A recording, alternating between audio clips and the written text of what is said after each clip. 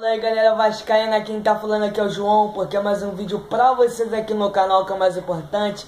Eu peço pra vocês se inscrever, compartilhar o vídeo, ativar o sininho de notificações pra vocês assim não perderem um vídeo, vídeo todos os dias. Valeu, vai deixando o like, se inscreve, compartilha, ativa o sininho e vamos aí para as últimas novidades e notícias do Vasco. Começar aqui falando sobre um balanço do canal ESPN, né, que colocou no seu site oficial qual é o maior clube do Brasil? O Vasco está, o Vasco está em segundo lugar com 12k de torcedores e também com 12k de número né, de pessoas que votaram no Vasco. Quem está em primeiro é o Palmeiras, a Mulambaga está em quarto lugar. Então, galera, eu vou ver se eu consigo deixar o link aqui embaixo. Vou ver se eu consigo deixar o link aqui embaixo. Pra vocês ir lá, meu irmão. E deixar seu voto no Vasco. E colocar o Vasco né, no topo. Porque, cara, o Vasco é o maior clube. E mostre aí, mano. Mostre aí como que é a grandeza do nosso clube. O Mulambaga não vem falando que é maior que nós. Aonde que é maior que nós? Aonde, cara? Nunca vai ser maior que nós. Nunca. Nunca o Flamengo vai ser maior que o Vasco. Até o Atlético Paranaense é maior que o Flamengo nesse número. Tá com 7K. O Flamengo, só para vocês saberem, meus amigos, está abaixo. Está abaixo. Preciso nem falar, mano. Preciso nem falar nada. Porque o Flamengo tá abaixo do número do Atlético. Agora que eu tenho informação para vocês. Bora começar falando aqui sobre uma outra informação que é o seguinte. Não posso confirmar, mas é que veio. Mantigo sob sigilo, Clube do Exterior faz proposta milionária para comprar Thales Magno do Vasco. Isso mesmo, galera, vocês sabem que o moleque vem se destacando né, nos últimos jogos, é, ele vem recebendo muitas sondagens de muitos clubes. E, cara, é, segundo a informação do David Chinaglia, né, os valores de uma oferta, de uma, de uma oferta, de uma proposta milionária, né, que parece que vê o Vasco, gira em torno de 30 milhões de euros, 170, 137 milhões né, de reais na cotação atual, seria a maior venda do Cruz Montino na história. Até esse momento, o atacante Paulinho foi a venda mais milionária do Vascão. O atleta foi negociado ao Bayern Leverkusen por preço de banana, 85 milhões de reais né? Que na verdade o Vasco não ficou nem com 85 milhões, outra parte era do Paulinho, também de empresário, entre outras coisas. Ainda de acordo com o jornalista, o Vasco deve recusar a proposta do clube. O clube, não falaram qual era o clube, mas vamos saber, alguma hora nós vamos saber qual é o time, né? Deve recusar a proposta e só aceitar conversar para vender Thales Magno a partir de 50 milhões de euros, em torno de 228 milhões de reais, né, montante próximo à multa rescisória da joia vascaína. Apesar do interesse dos empresários em fazer um negócio, a cúpula do gigante da colina acredita que o jogador tem potencial para se valorizar ainda mais no mercado e sair por sair por um valor superior em um futuro próximo. É verdade, cara, assim, o que, que vai ficar fazendo é de parabéns e não vender ele agora, né? E não fazer uma, não fazer uma pré-venda para ano que vem um moleque já, para ano que vem um moleque já ir pro futebol exterior, tá certo, Vasco, né? Tem que aumentar mesmo a multa dele e aumentando a multa dele vai vai renovar mais ainda o contrato, né, cara? Deve colocar o contrato dele até 2023 com uma multa eu mostrei para vocês aí de 228 milhões de reais, seria muita coisa, né? E cara, o Vasco tem que, o Vasco assim, parece que o Vasco tá conversando com esse clube, né? Não não falaram o nome do clube, queria muito saber qual era o nome do clube, mas não falaram, né? E cara, provavelmente deve ser o seguinte, Thales Magno não deve ser vendido para esse clube agora, mas o Vasco deve, mas o Vasco deve ter sim conversa com esse clube, né? E provavelmente renovando seu contrato, aumentando a sua multa, aí sim que o Vasco vai voltar a conversar com o clube e vender o moleque pro tal clube, que eu não sei qual é o nome, eu queria muito saber, né, mas que não apareceu aqui na informação. Mas vamos ver aí, cara, pode acontecer, ele pode ser vendido, né, a qualquer momento, mas eu acho que se ele for vendido, ele vai ser vendido só lá para junho de 2020, provavelmente. Agora que outra informação para vocês, BS sócia, mano. Nos pênaltis, Vasco bate rival argentino Acassuso né, e vai para a final da Libertadores na final da Libertadores, tô usando, vai para a final da Libertadores pelo quarto ano seguido. O que, que, que acontece? 2019, 2018, 2016, tô, tô, tô, tô zoando, ó, 2019, 2018, 2017, 2016, o Vasco chegou na final, o Vasco ganhou. Só para você saber, o Vasco, ganhou, o Vasco ganhou duas vezes.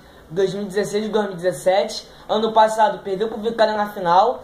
E esse ano vai pegar o, o seu Portenho na grande final, que é hoje mesmo, às 6 horas. Vasco e Cerro Portenho, né?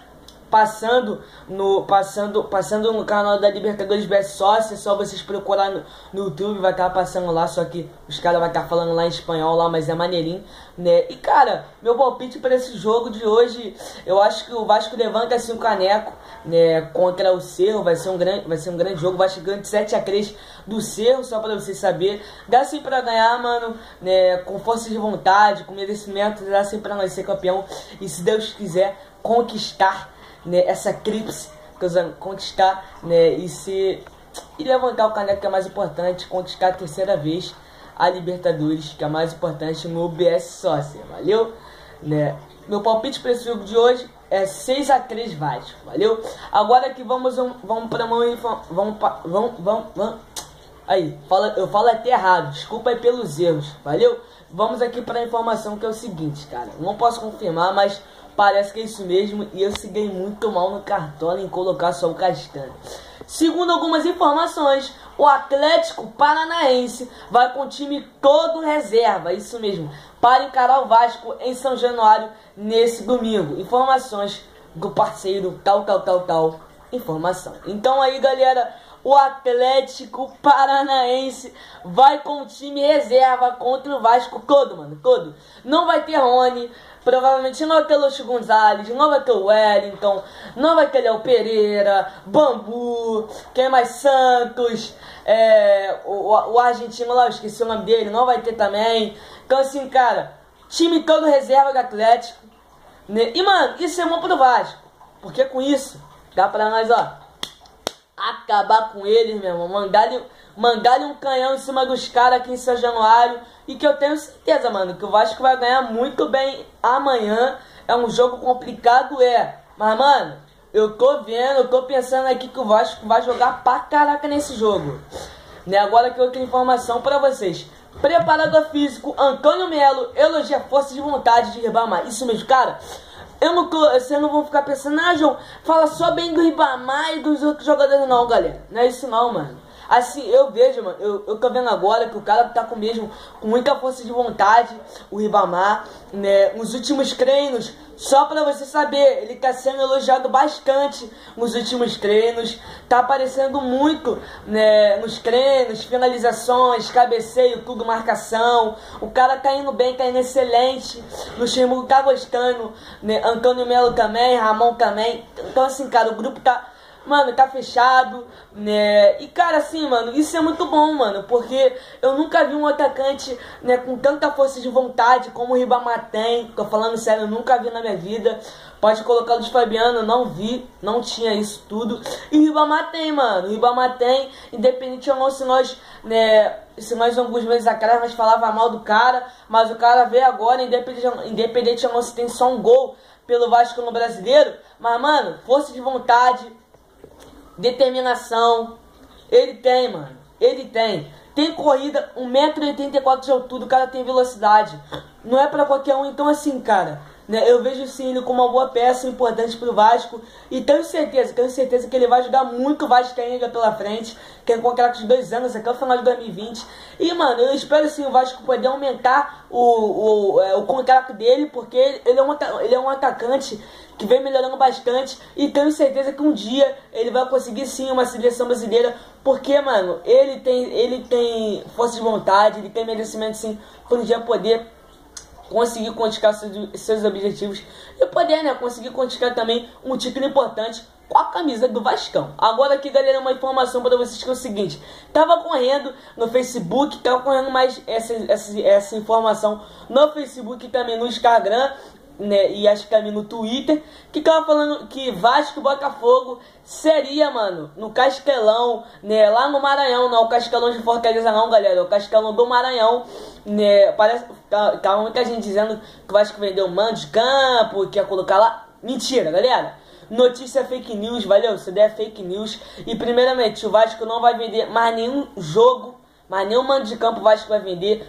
Pode ser qualquer um, mano. Nesse turno agora que o Vasco não vai, vai jogar todos os, todos os turnos em São Januário. Só pra vocês saberem, só pra vocês ficarem ligados. E Vasco e Botafogo vai ser em São Januário. E dá pro Vasco ganhar sim. Dá pro Vasco ganhar, um jogo difícil? É. Mas, mano, dá pra ganhar sim. E, mano, falando sobre o próprio Botafogo, perdeu hoje pro São Paulo de 2x1. E, mano, é, é muito importante pro Vasco. Essa derrota do Botafogo é importante pra caraca, meu irmão, pro Vasco. Porque o Botafogo fica com 27 pontos.